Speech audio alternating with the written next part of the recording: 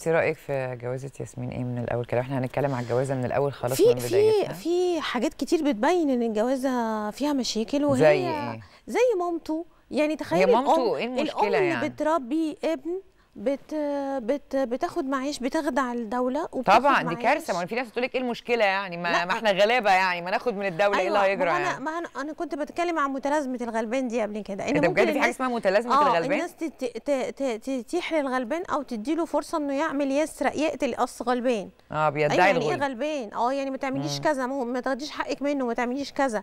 أو هو حرام. معلش حرام. مسكين سيبيه. مسكين سيبيه آه. بياكل عيش. وممكن يبقى ما عندوش ضمير بس عادي هو عشان غلبان فمباح له كل حاجة فده مم. مش صح يعني يعني ده من الأول المفروض يعني هي كانت تقول إنه هي وأهلها يقولوا إن دي ال... بصي آه، ده ده, ده مش ريد فلاج دي بتبقاش- واقفة بالعلامة كده الناس ما بتبقاش متخيلة إنه إنه الخداع ده سمة مم. شريرة ما, ما بتجيش لوحدها يعني طالما أنا بخدع حد أو بخدع دولة كاملة وعايزة آخد حاجة مش من حقي فده معناه إن أنا آه، بربي ابني على نفس الشيء.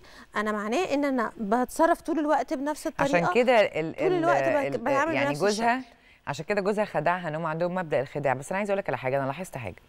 هو اتغير لما هي راحت تولد عند أهلها وقعدت فترة عشان تريحهم من المصاريف. مش ممكن يكون الأم سيطرت في الوقت ده. يعني أنا ملاحظة هي- إن الحتة دي مثلا إحنا ما خدناش بالنا منها. بصي هو هي- كان كويس هي- قبل ما هي يدخل الأم ما بتصحاش من النوم تسيطر. مفيش حاجة اسمها اكبر وصير لا لا, لا, هي الأم بتبقى أم مسيطره. من أول يوم. فهي أم مسيطرة متحكمة في حياته كلها وهو بيسمع كلامها وشخصيته ضعيفة قدامه. مم. يعني إيه بقى سمات معظم الرجاله اللي مامتهم مسيطرة أو عندهم أم مسيطره مسيطرة مش عايزة أقول نرجسية يعني عشان لا أصل مش. لدرجة نرجسية هي آه. مسيطرة بتحب ابنها لكن ما بتحبش نفسها. يعني هي مش لازم تبقى نرجسية إن هي نرجسية بتحب أوكي. نفسها وبتاع لا لا لا. ممتلكات. النرجسي مش بيحب نفسه الحقيقة. ما دي دي المفاجأة الثانية بيسيطر على اللي حواليه. المفاجأة في حلقة ده النهارده. بجد؟ بس الأغلبية بيقولوا لا, لا، يا دكتور وفاء إنه النرجسي بيحب نفسه جدا ده عظيم. وكلكم ملكي. لا هو شخص بيشعر بالدونية الشديدة لكن؟ بيبين قدام الناس إنه بيحب نفسه.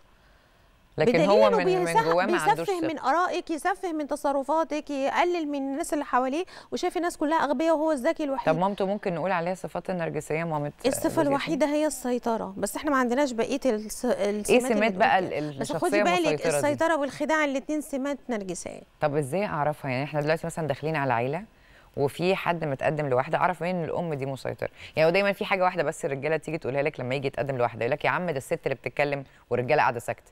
الست هي اللي ماشية آه. البيت يعني دي أنا سمعتها كتير قوي في أرض الواقع.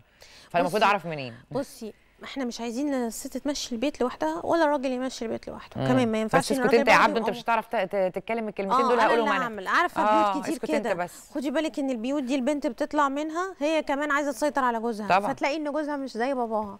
فتبتدي بقى تحصل مشاكل. مم. هي دي الفكرة إنه عايزة تطبق النموذج ده في البيت لأنه شايفة مامتها بتعمل كده.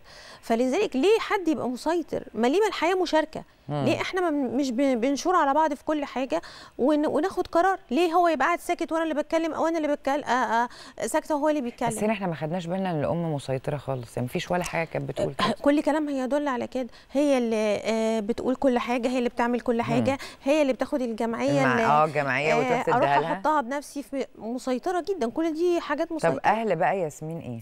هي اللي بتقول له يعمل إيه وما يعملش إيه وبتشتري له عربيه وبتقول له هي اللي بتقول له كل حاجة. مم. بيبقى باين على فكرة.